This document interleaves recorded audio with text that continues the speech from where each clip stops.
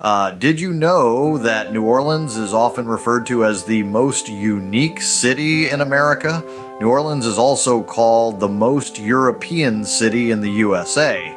Now, we will be covering several individual places in this video, and I have many more videos that cover most of these places and spaces in much more detail, so if you want to learn more, make sure to search the NOLA Gent channel for those places you want to get more details about and it's not hard to see why. The city is a vibrant tapestry of cultural influences with threads of French, Spanish, German, Irish, Sicilian, African, and many other heritages interwoven throughout its history.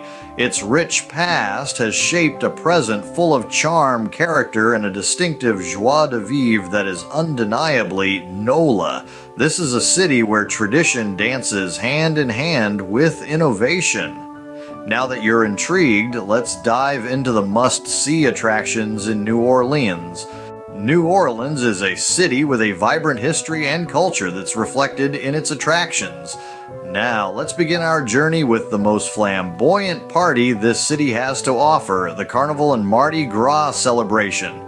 Imagine a whirlwind of color, music, and dance where the city comes alive with parades and parties. This annual celebration is a true spectacle and a must see for anyone visiting New Orleans. Just remember that Carnival begins at 12th night on January 6th each year and ends at midnight on Mardi Gras Day. Mardi Gras is French for Fat Tuesday, and that day is the final day of Carnival celebrations, which changes every year based on when the date of Easter falls. So make sure to look at a carnival parade schedule to see all the parade events happening and make sure you don't miss any of the fun. Sadly, many tourists arrive the day after Mardi Gras, expecting the celebration will still be happening. After Mardi Gras comes Ash Wednesday, and things slow up in the city until the annual St. Patrick's and St. Joseph celebrations begin, which celebrate Irish and Sicilian traditions. Speaking of celebrations, Louisiana and New Orleans have numerous festivals throughout the year, so make sure to check out the festival schedules as huge festivals such as French Quarter Fest and Jazz Fest can bring in above average numbers of tourists. There are also plenty of smaller festivals and events which are also a lot of fun and far less crowded. Athletic events such as the New Orleans Saints NFL games, Super Bowls, the Sugar Bowl, and many others turn into huge celebrations. So expect any moment a party could be happening somewhere in the city. During carnival season, you'll witness the city at its most vibrant with everyone coming together to celebrate life and laughter. From the lively Mardi Gras, let's take a step back in time as we meander through the historic French Quarter, cobblestone streets, Creole townhouses, and the sweet melodies of jazz wafting through the air. The French Quarter is the heart and soul of New Orleans. It's an area steeped in history where every building has a story to tell and don't forget to stop by Jackson Square, a beautiful park that's perfect for a leisurely stroll or a quick sketch by one of the local artists. Last, but certainly not least, stands the St. Louis Cathedral, an iconic symbol of New Orleans. This magnificent cathedral, with its stunning Spanish colonial architecture, is the oldest continuously active Roman Catholic cathedral in the United States. Its three spires reaching towards the sky, the St. Louis Cathedral is a beacon of faith and resilience, a testament to the city's enduring spirit. Whether you're religious or not, the cathedral's beauty and significance make it a must see. New Orleans is a city that wears its history proudly, and these attractions are a testament to that. From the energetic Mardi Gras to the serene St. Louis Cathedral, each experience offers a unique glimpse into the city's soul. And remember, the charm of New Orleans lies not only in its attractions, but also in its people, who are generally friendly and happy to share their favorite spots and restaurants with visitors. After all that sightseeing, you'll certainly work up an appetite. Now, if you love to destroy some New Orleans food like I do, just go ahead and destroy that subscribe button and give this video a thumbs up because that really helps this YouTube channel. Get ready to explore the culinary delights of New Orleans. New Orleans cuisine is a medley of diverse tastes that will keep your palate entertained. Let's delve into the world of Cajun cuisine, a hearty blend of French and Southern influences, with dishes such as boudin balls at Toups and fried alligator and frog legs at Mulate's. Cajun food reflects the more simple cuisine of rural areas and the bayous of Louisiana Moving on, we explore Creole food, New Orleans' very own culinary tradition. It's a more refined cuisine using more ingredients, including a medley of French, Spanish, African, and American Indian tastes, which can be savored at prominent establishments such as Dooky Chase's restaurant with their famous fried chicken and Commander's Palace with their always popular turtle soup but no visit to the Big Easy would be complete without a taste of a po' boy sandwich, a time honored favorite of the city. From the juicy roast beef at Parkway Bakery and Tavern to the crispy fried shrimp at Domilise's Po' Boy and Bar, these generously filled sandwiches are a must try. For dessert or breakfast, it is a tradition to make a visit to Cafe du Monde for cafe au lait and beignets. With your stomach now brimming with goodness, let's guide you to a comfy place to unwind. Whether you're in search of opulence or affordability, New Orleans provides a range of accommodations to fit your preferences.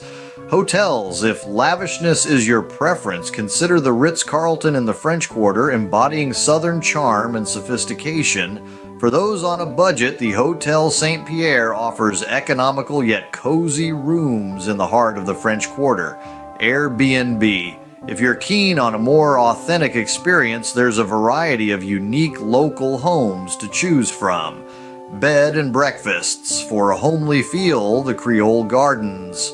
Uh, bed and breakfast located in the Lower Garden District is a popular choice. Now that we've sorted out your accommodation, let's navigate the best ways to traverse the city. Exploring New Orleans is simpler than you might imagine. This lively city boasts numerous modes of transportation that can help you traverse from the renowned French Quarter to the lush Garden District and more. First up, the French Quarter offers pedicabs, an excellent way to explore the area. Next, we have public transportation with the New Orleans Regional Transit Authority that runs the city's buses and streetcars that weave through this vibrant city. The iconic St. Charles Avenue streetcar is a must try, appreciated not only for its vintage charm, but also its functionality.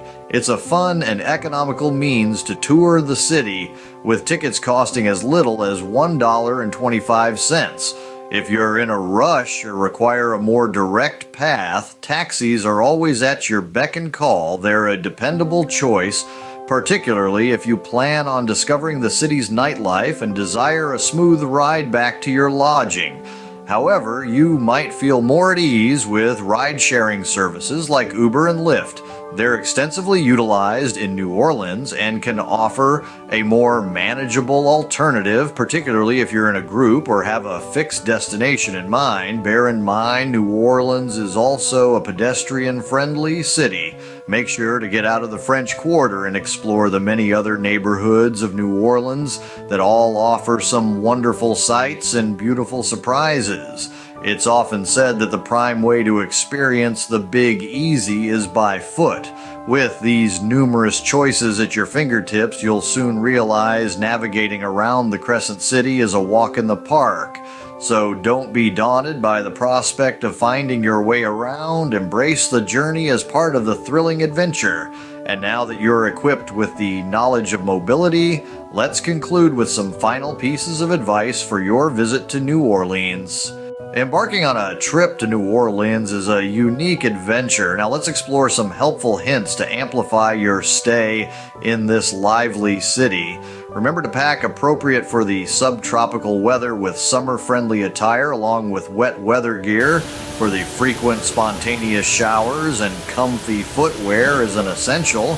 It can still get cold around the months of January to March, so don't forget warm clothing just in case during that time. Also, if you plan on dining out at the nicer restaurants, most of them do have dress codes, so make sure to check on those requirements.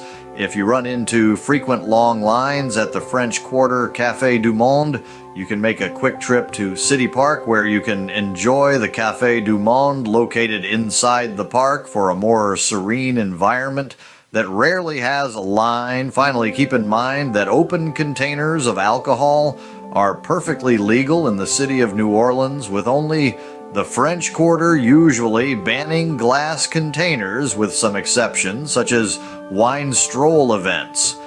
Currency swap advice Louis Armstrong New Orleans International Airport offers international currency exchange, but for more favorable rates, many banks offer ATM cards that yield far better results, so do some research when choosing a bank or local exchange.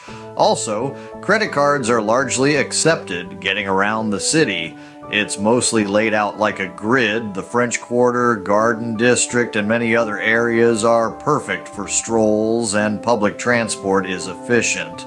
Generally, most people in New Orleans are very friendly and quite happy to assist you with directions, so don't be afraid to ask questions. Do watch out for the scammers on Bourbon Street who come up and ask, I bet you I can tell you where you got them shoes. Simply reply with on my feet to avoid any further issues from this very common street hustle.